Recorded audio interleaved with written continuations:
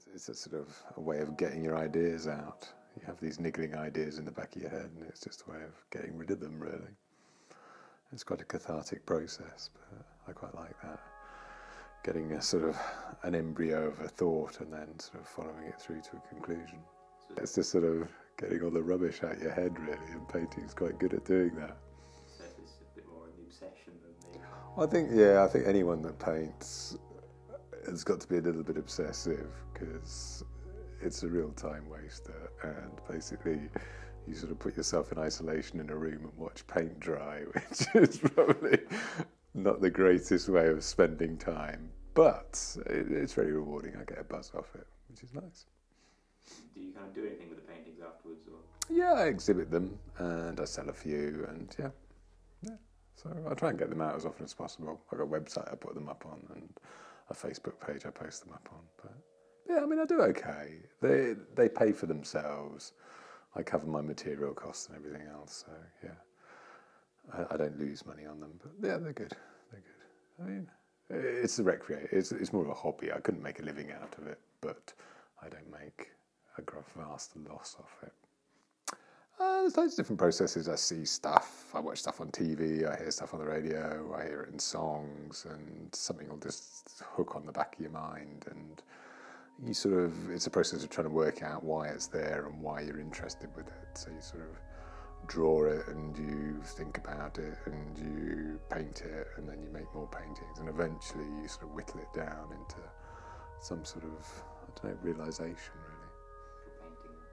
It's just process, really. It's just working it through your head. You start off with little drawings, and then you make bigger drawings, and then you make colour drawings. And I do a lot of digital work as well, so I'll do stuff on Photoshop. And eventually, you just adapt it, really, and things will look right, and things won't look right, and you keep the things that look right, and you get rid of the things that don't. And by a process of elimination, you end up with something in the end that you're happy with, or or uh, sometimes the idea just gets to a point where you just can't do it anymore, and then you stop, and then something else will come along.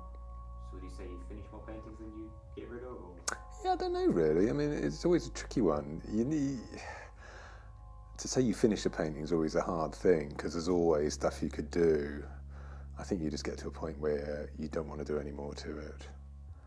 I think the big danger with painting is you can over finish them, which is the big problem. Most people find you overwork them, then they lose that sort of spontaneity, spontaneity, and um, they become a bit laboured. So it's, it's knowing when to stop most of the time.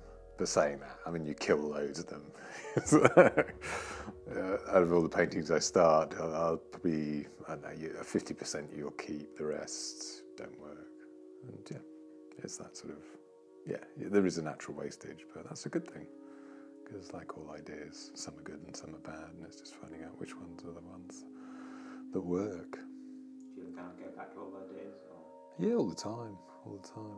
Yeah. I mean, I've got recurring themes I've been working on for the last thirty years, which just keep popping up in different guises each time. But it's amazing the number of times you'll paint a picture and you think, "I've painted this before," and it's true, just because yeah, everyone has certain interests which stay with you for life. I think you look at all the great artists and they were in similar positions. They have the sort of narratives that thread throughout their whole lifetime. And yeah, I think that's it. I think you're born with ideas and you keep them really. Yeah, I mean, you discover new materials and you discover ways of working, and also, I don't know, I think you become more confident in what you do, so you become less obsessive about things and looser as you get older. So, yeah, yeah, I mean, and also, I mean, to say you have a style is quite it's not necessarily the case. I think everyone has lots of styles. When you see artists represented in books, they tend to show one theme throughout, but if you actually look at their output, they're normally doing vastly different stuff all the time. It just gets divided into certain groups afterwards. So it's nice to try things from different angles. So you can do abstract stuff and figurative stuff at the same time, or black and white and colour stuff. It doesn't really matter you might group it all together in the end as one unit, but yeah, you come at it from lots of different angles. So, yeah. so do you see yourself continuing painting? Yeah, I mean, I've been doing it this long, it'd be hard to stop, really. It's, yeah, it's part of what makes me, really. Yeah, I mean, it, it, it, it does become. I mean, it's a thought process, really. It's just a way of thinking about things. People write songs, or people play video games, or people watch TV. I paint. It's a sort of way of getting stuff out of your head and into the world. It's a way of sort of exploring ideas and just, I don't know, trying to understand things really. So,